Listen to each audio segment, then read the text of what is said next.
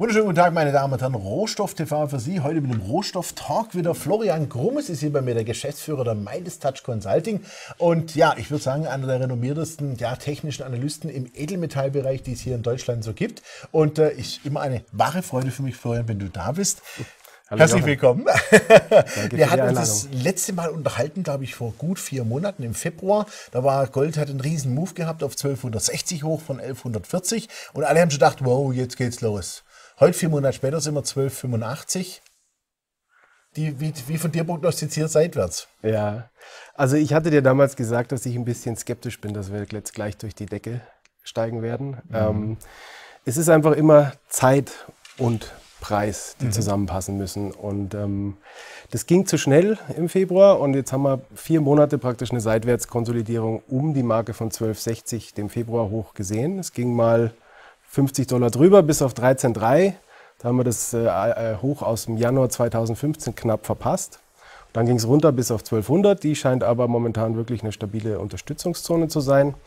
Ja, und im Endeffekt äh, balanciert, ausbalanciert äh, sich Gold im Moment eben um die 1260. Es ist aber noch nicht klar, dass wir jetzt trotz der Stärke der letzten Tage und trotz der Panik, die offensichtlich wegen dem Brexit und Co. Äh, im Markt ist, jetzt schon direkt vor dem Durchbruch nach oben steht. Also wenn, wenn, du jetzt sagst Brexit und Co., da will ich gleich mal schön einsteigen. Äh, äh, du hast vorhin noch was erzählt gehabt in unserem Vorgespräch, dass die Coin Invest eine Meldung rausgebracht hätte, dass die englischen Shops quasi riesige Umsatzsprünge haben. Habe ich das richtig verstanden gehabt? Also durch den Brexit jetzt wird massiv Gold gekauft. Also das war meine Vermutung, äh, dass ich auch, die habe ich auch heute schon in meiner Pro-Aurum-Analyse geschrieben gehabt, dass eben natürlich die Briten sich versuchen dagegen zu wappnen, sollte es zu dem Brexit kommen und mhm. eben vermehrt ins Gold gerade flüchten. Also die Umsätze sind offensichtlich bis zu 80 Prozent angestiegen in den letzten Wochen. Mhm. Äh, ich glaube auch, dass sie neben dem Gold in die Cryptocurrencies, also die, den Bitcoin vor allem gerade flüchten. Mhm. Da verfolgst du, glaube ich, in deinem Letter ja auch immer mit. Genau, ne? da bin ich ja. auch ziemlich nah dran. Ja. Sehr spannendes Thema. Ähm, mhm. Ja, der Brexit dürfte wahrscheinlich auch einfach gerade das vorherrschende Thema sein, dass eben insgesamt den Goldpreis jetzt so schnell wieder von der 1200er Marke innerhalb von acht, neun Handelstagen bis auf 1290 heute hochgetrieben hat. Mhm. Ähm, wir wissen aber, dass die Saisonalität noch bis ja, Juli eigentlich nicht so ganz günstig ist. Die Commitment of Trades, also die Terminmarktdaten, sind nach wie vor ungünstig. Also die professionellen Händler sind nach wie vor klar short mhm. positioniert. Wir haben immer noch sehr viel Spekulation im Markt.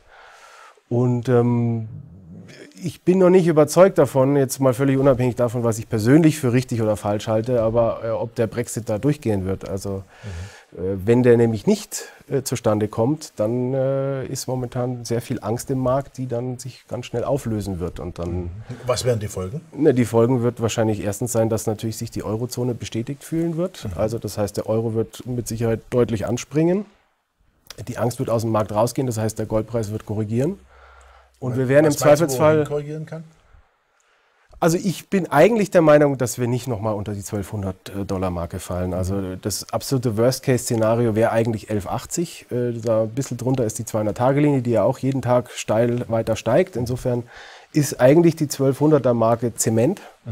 Und äh, der GDX, der ja wirklich fulminant sich jetzt entwickelt hat die letzten Monate, äh, kommt jetzt da zwischen 27 und 30 Dollar äh, in eine wirklich starke Widerstandszone. Also ich denke, die allerwenigsten haben erwartet, dass der so explodieren wird. Äh, und äh, ich meine, der hat sich ja mehr als verdoppelt. Ich glaube fast 150 Prozent mittlerweile seit dem Tief Mitte Januar. Aber jetzt läuft der da in eine wirklich starke Widerstandszone rein. Also und wenn ich mir dann noch das Sentiment gerade so ein bisschen angucke, also ich habe heute gesehen, die Bild-Zeitung er hat zwar nicht auf der Titelseite, aber zumindest äh, in der Online-Ausgabe äh, so mal wieder das Wort Gold äh, erwähnt und auch empfohlen. Gut. Das ist eher ein ungünstiges Zeichen. Ja, also ich bin momentan ein bisschen skeptisch, ja, äh, ja. ob das jetzt schon so weit ist. Grundsätzlich muss man aber sagen, man muss natürlich dem Markt auch zuhören. Also wir können ja viel uns ausdenken und überlegen. Momentan, wenn man dem Markt zuhört, keine Frage, Gold ist stark, Gold ist in einem Aufwärtstrend. Wir haben ein kurzfristiges Ziel bei 12,90 erreicht, da ist das obere Bollinger Band auf dem mhm. Tageschart, aber wir sind überkauft. Also das heißt, äh, ich sehe jetzt im Moment keinen Grund, äh, hier in den Markt ja. hinein zu jagen oder ihm hinterher zu rennen, okay. sondern ich würde abwarten. Ähm, solange wir über 1260 und vor allem über 1230, 1240 uns halten können in den nächsten zwei Wochen, geht die Aufwärtsbewegung wahrscheinlich weiter. Dann wäre 1350 das nächste Ziel. Ja.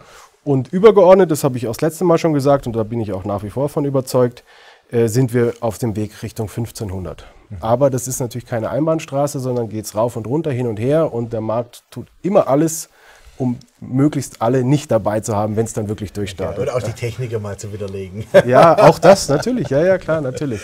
Okay, als äh, Fazit, ähm, kurze, knappe Antwort jeweils. Nehmen wir an, Brexit geht durch. Mhm. Was erwartest du innerhalb der nächsten Wochen dann, sage ich mal? Am 23. ist, glaube ich, die Abstimmung, wenn ich es recht im Kopf habe. Ja. Brexit passiert nicht, alles bleibt in Anführungszeichen beim Alten. Was erwartest du dann bis, ich mal, jetzt zum Sommer? Hoffen wir, dass der Sommeranfang noch kommt. Ja, bisher ja. war es ja nichts. Ja. Aber äh, gehen wir mal davon aus, irgendwo die nächsten vier, sechs Wochen. Was kannst du dir da vorstellen? Also, wir haben ja wirklich eine krasse Ereignisdichte die nächsten zwei Wochen. Es ja. geht ja schon los mit morgen die FED. Dann haben wir auch noch die Entscheidung da des äh, deutschen Verfassungsgerichtes bezüglich der Euro-Rettung. Dann wählen auch noch die Spanier und die Frankreich-EM. Da kann auch immer irgendwas äh, passieren, was die Märkte möglicherweise kurzfristig äh, tangiert. Ähm, geht der Brexit durch, dann gehe ich schon davon aus, dass wir erstmal massive Panik im Markt haben werden und dann mhm. müsste der Goldpreis auch explodieren und dann gehen wir wahrscheinlich ziemlich schnell auf 1350 nach oben, mhm. äh, vielleicht sogar höher.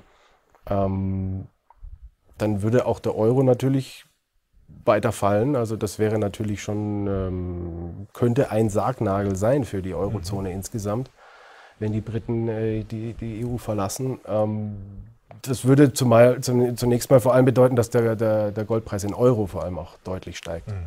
Und der sieht auch technisch betrachtet eigentlich recht gut aus. Also wir mhm. haben diesen Anstieg bis auf 1165 Euro jetzt äh, auskorrigiert, konsolidiert in einem Dreieck seit Anfang März.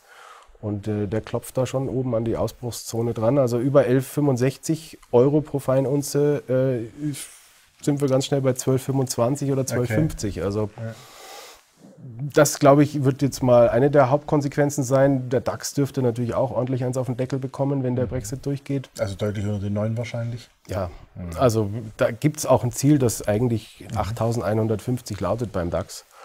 Da würde ich, mir auch mir, würde ich mir ihn sogar wieder anschauen. Ja, ja, da, also da, da, kann man ihn unbedingt kaufen, sogar unbedingt, wenn wir ja. da nochmal runterkommen sollten. Ja. Ähm, ansonsten könnte ich mir vorstellen, äh, wenn jetzt der Brexit äh, nicht durchgeht, dann geht eben, wie vorhin schon gesagt, die, die Angst erstmal raus aus dem Markt. Das heißt, wir werden vermutlich eine Korrektur beim äh, Gold bekommen, wir werden einen stärkeren Euro sehen, wir werden eine Erholung an den Aktienmärkten sehen. Und ich denke, wir werden dann auch mal einen Luftablassen bei den Kryptowährungen sehen. Also die sind ja steil angestiegen die letzten äh, Wochen ja, vor allem. Ja.